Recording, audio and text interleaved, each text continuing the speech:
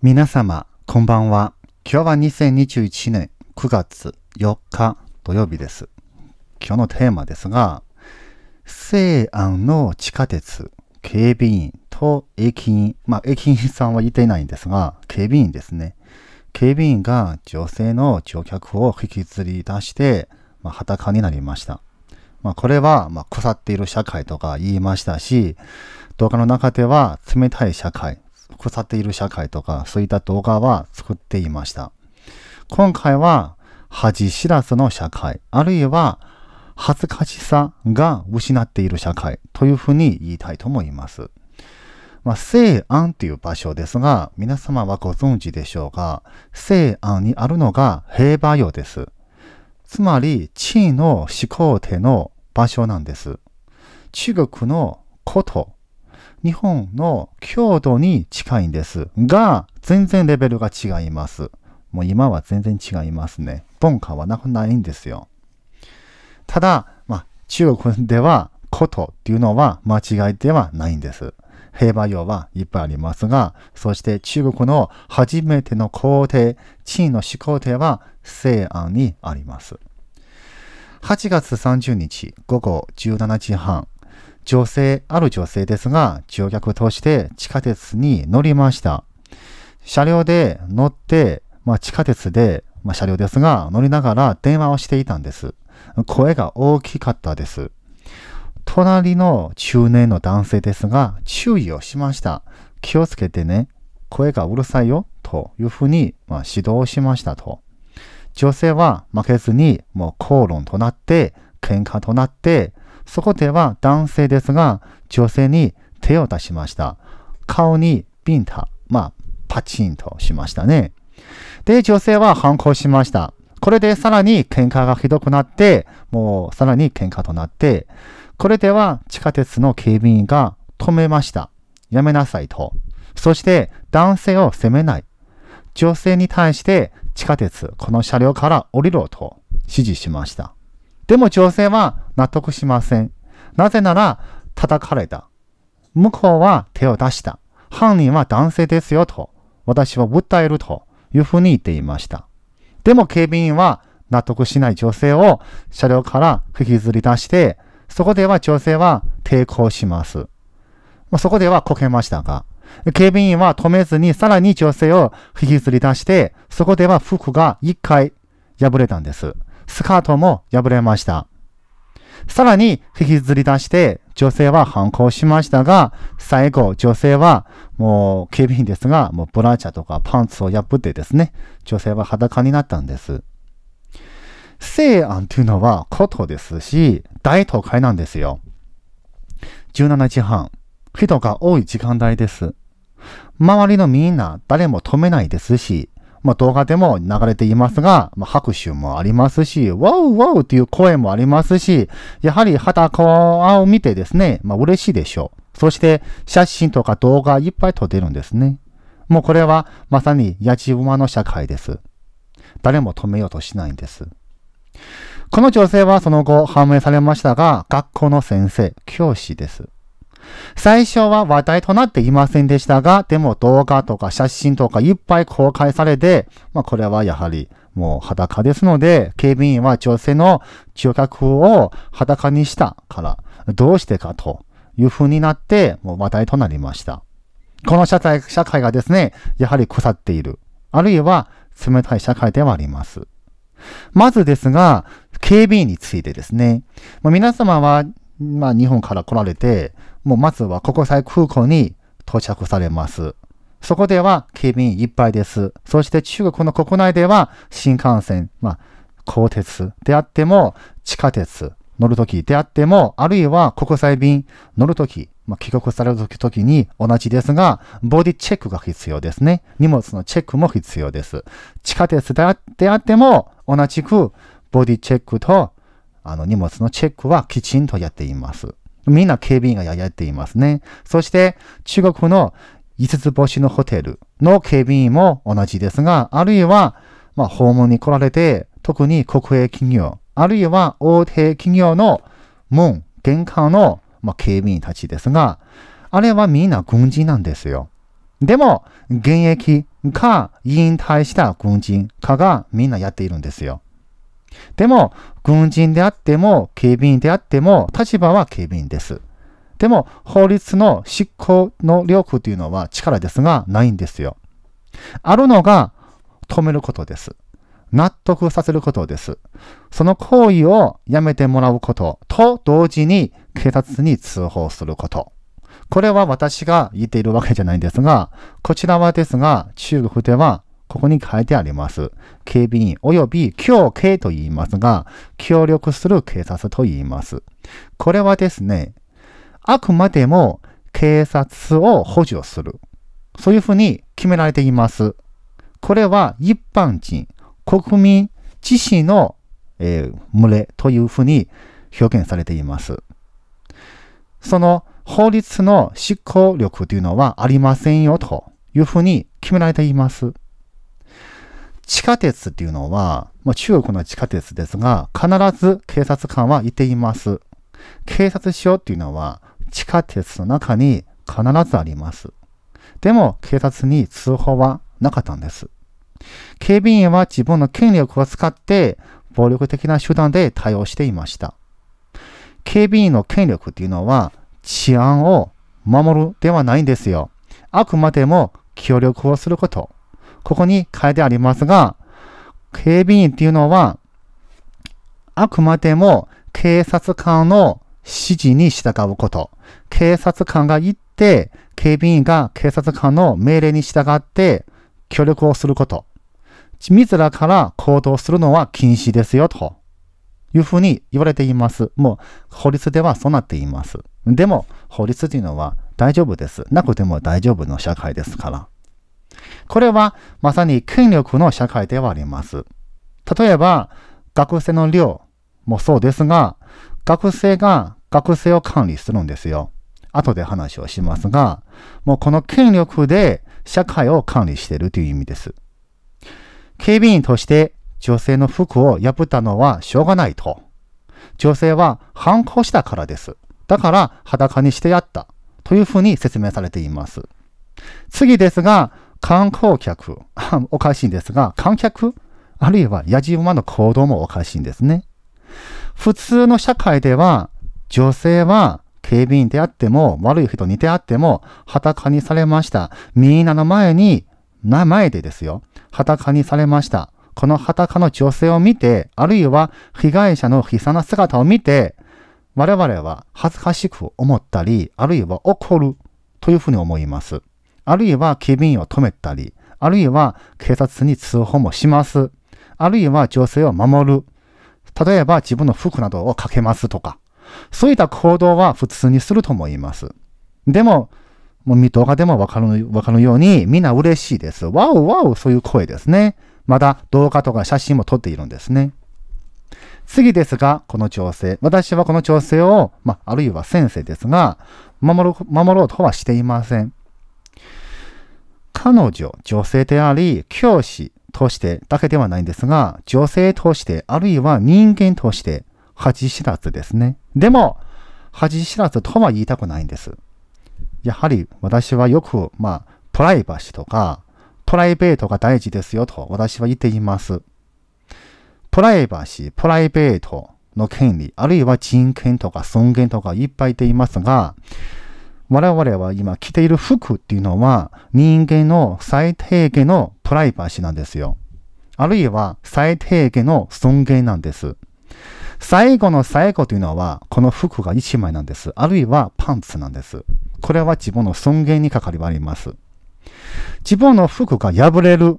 小さい的に最終的に破れましたけれども、あるいは途中では破れてしまって一部の肌は露出していました。これは恥ずかしいですね。そして、ここでは私なら警戒しますね。あるいは服が破れそうになったり、あるいは破れる可能性がありますと。あるいは破れましたと。あるいはこれ以上破れると危険ですと。なぜなら自分が裸になってしまうんですよ。自分の最低限の尊厳がなくなるという意味です。ここでは、まずはですね、自分を守るのことが最優先にしたいんです。例えば、相手と説明しても通じません。いくら言っても通じません。相手は暴力を振ります。私ならですね、妥協します。普通はですね、通報もしますが、無理なら仕方ないんですが、まずは妥協する。なぜなら自分の安全が先に確保したいんです。安全を最優先にしたいんです。落ち着いてから警察に通報もする。法的な手段を使って損害賠償をやっていきますよ。でも、この女性の場合ですが、もう駅員、警備員の言う通りに車両から降りることはなかったんです。他人に迷惑をこれ以上にかけないっていう行動もなかったんです。結果としては、ホームに降りて通報するもなかったんです。でも女性、あるいは教師としては、すべて最後の最後まで妥協はしなかったんです。結果としては、抗議もしました。逃走もしました。服が破れました。外のスカートも破れました。ここではまだ妥協はしなかったんです。通報もしなかったんです。ずっと戦っていました。結果は警備員にパンスを逃されました。ずっと妥協しないんですよ。この行動っていうのは、この女性、あるいは先生っていうのは、恥知らずとは言わないんですよ。でも、被害者ですから、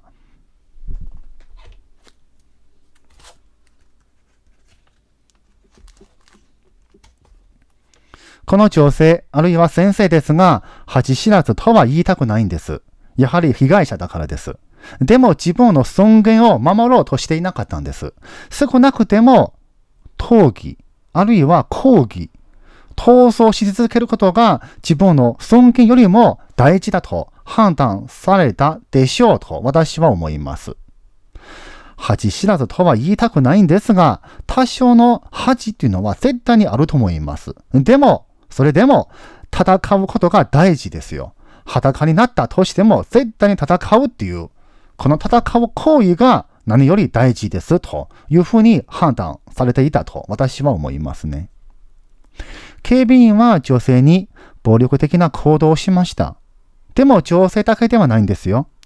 すべての乗客に同じ態度なんです。相手は女性であっても男性であっても子供であってもみんな同じ態度やっているんですよ。つまり、警備員にしても駅にしても、この優しい、あるいは思いやり、あるいは産筆的な精神っていうのは一切ないんですよ。自分の方が上だからです。そういうふうに思っているんですよ。まだ、やじ馬の中に子供もいていますよ。影響は大きいですが、でも、このような環境で成長しているんですよ。もう、この社会っていうのは、恥ずかしさは失っているっていう意味です。尊厳に対してその認識というのはなくなっているんですよ。次、ネットの世論、新聞の世論ですが、すべての警備員の権力はどこまでにあるのかと討議されていたんです。でも、討議されていないのが、警備員がこれをやりましたね。やった結果は何ででしょうかと。他人の損害、あるいはその尊厳への侵害、プライバシーへの侵害、どうして他人の服を脱がすのか、どうして他人のパンツを脱がすのか。他人のプライバシー、尊厳を無視したのか、どうしてですか？これは警備員がやっていいのかと、討議されていないんですよ。これがですね、宗教が設立してから社会への侵害、一番大きいというのは人間としてその尊厳を求めることがなくなったんです。こちらですが、ある動画を紹介したいと思います。皆様はご存知の方はいらっしゃると思います。レスリー・チャーの映画、さらば我が愛っていう映画ですが、この映画っていうのは中国では放送禁止でした。アメリカと日本では上映されて非常に人気出て、そして政府に対してもう訴えられたんですね。外国ではどうして人気あるのか、中国の国内ではどんな映画かはわかりませんと。それで政府は特別としてもう許可を得て、この動画はで、まあ映画ですが、中国で上映することはできました。この映画の内容っていうのは、当然ですが、文化大革命っていうのは入っています。そして、あの、まあ、後日ですね、この映画について話をしたいと思います。機会があればですね、この映画の奥非常に深いんです。まあ、機会がありましたら見ていただければ、中国の奥というのは、大体社会同じなんですよ。この社会と今の社会同じなんです。映画の中の社会、今でも同じです。続きますが、人間にとって尊厳というものは大事なんですね。大事にしないと、結果というのは恥知らずになってしまうんですよ。しかしですね、政府の権力はもっと怖いんです。まずですね、地下鉄の事件はありました。ずっと政府は何をするのか見ていたんですが、今日発表されました。もちろんですが、公安局も発表されました。これから言いますが、地下鉄の企業というのは当然ですが国営企業ですので、発表された内容というのは非常に面白くないんですが、ある意味面白いです。正々堂々と嘘をついています。内容をまとめました。一つ、車両で喧嘩はありました。2、喧嘩して手も出していました。3、治安が懸念する。我々の警備員が止めました。4、熱心のある他の、まあ、つつまりですね、情熱のある他のお客さん、乗客と一緒に、まあ、女性のお客さんですね、ホームへ引導。4、乗客は対抗して降りないと、警備員は治安を守る、みんなの安全を考えて、女性をホームへ引導。6、結果、女性はホームで反省して、次の車両に乗って目的に、目的地に安全に到着できた。7、最後。亡命の社会が大事ですよ。治安が大事ですよ。地下鉄のルールを守りましょうね。と。以上です。これが説明なんですよ。説明されていないのが、まず一つ。警備員は女性の客さんを引きずり出しました。2、裸にしました。3、どうして警察に通報しなかったのか。4、どんな方法、あるいは手段で治安を守っているのか。しかしですね、いくら嘘を言っても動画とか写真とかいっぱい出ていますので、それでも正々堂々と嘘をつくんですよ。そして情報を隠蔽します。ネットでは討議となりました。中国の版の Weibo、Twitter ですが、討議禁止にしました。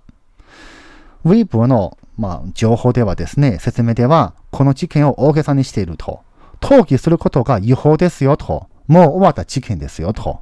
現在、6767個の ID をロックしました。起使用禁止にしました。つまり、これ以上は討議してはいけませんよと。そして動画、写真、すべて削除。今日ですが、公安局の調査結果、地下鉄乗客2人、治安を悪くした、逮捕して、教育を行った。警備員は警備員としての行動をとった。正しい対応をしました。警備員は犯罪者ではない。現在、警備員は一時停職。これがおかしいんですね。罪がないと言ってるのに、どうして停職ですが、そして一時停職ですか？でもですね、次はまた発表されました。西安の鉄道交通グループ。これは国営企業ですが、責任者7名処分すると発表されました。まあ、これで終了となりますが、このような社会なんです。さっき言いましたが、宗教やってるというのは国民で国民を管理することなんです。まあ、今今日の、え、会員権の動画で話をしましたが、やはりこのような結果というのは今日発表されましたのでびっくりはしました。これでこういう気持ちになったんですが、まずはですね、大学の、まあ、量ですね。さっき言いましたが、あの、大学の量ですね。大学の量では、まあよくやるのが、学生を使って学生で学生を管理することなんです。まあ、寮にはリーダーがいます。そのリーダーというのは、この部屋のリーダーではなくて、寮というのは1回、2回、3回、4回ありますので、その1回ごとのリーダーがいます。このリーダーを決める人間というのは先生なんです。大体わかるんですが、もう先生と、うん、先生に好かれる子がやはりこのリーダーになることはできますが、このリーダーがやることっていうのは、まずはこの、まあ、お部屋ですね、に入って、まあ、大体ですが、衛生をチェックします。衛生面をチェックして、もう、ね、文句っていうのはいくらでもつけることはできますし、いくらでも無視することもできます。完全に自分の都合でもう決めていいんです。そして点数をつけます。それは低い点数ですと、あの、学校に怒られます。それは良くないんです。みんなそれはやはり避けます。衛生をきちんとやり、やろうとはします。そこでは、一部の方ですが、この人間にですね、カップラーメンとか、リンゴとか渡しますね。渡して文句はもう言わなくなります。これがやるんですね。もう動画でもよく言いますが、まあ、警備員、例えば住んでいる地域の、まあ、あの、この団地の、まあ、警備員ですが、この門は一つしか、まあ、四つあるんですが、今一つになって、絶対体温の検査やりますので、まあ、デイリー、あの、きちんとチェックされていますので、でそこでは、権力は非常に大きいんですよね。権力を持っていますので。なぜなら、何でもできるからです。自分が上だからです。権力を持っているからです。もう、このような社会なんですね。みんな戦って、あるいは争って、権力が欲しいんですよ。その権力で何をするのか、悪いことをするからです。つまり、権力を持つことによって、権力のない人ができないことが私ができるという意味なんですよ。そういう社会ですね。それを自慢するんですよ。ほら、あなたにはできないでしょ？この行動。私はね、やっていいのよ。逮捕もされません。なぜなら私は権力を持っているから。人脈を持っているから。そういう社会ですね。この社会では良くなる、ないですね。絶対にないないんですね。この社会自体がバラバラです。もう砂のように表現しているんですが、バラバラです。統一もしないんです。これが宗教の教育であり、宗教の文化であり、宗教自身が権力の、まあ、政権ですので、上から下まで全て国民もそうですし、みんな権力が欲しいんです。権力を握ると、何でもですね、いくらでも悪いことをしてしまうんですよ。このような社会です。この動画はここまでにしたいと思います。最後、いいねのボタンをお願いいたします。ありがとうございました。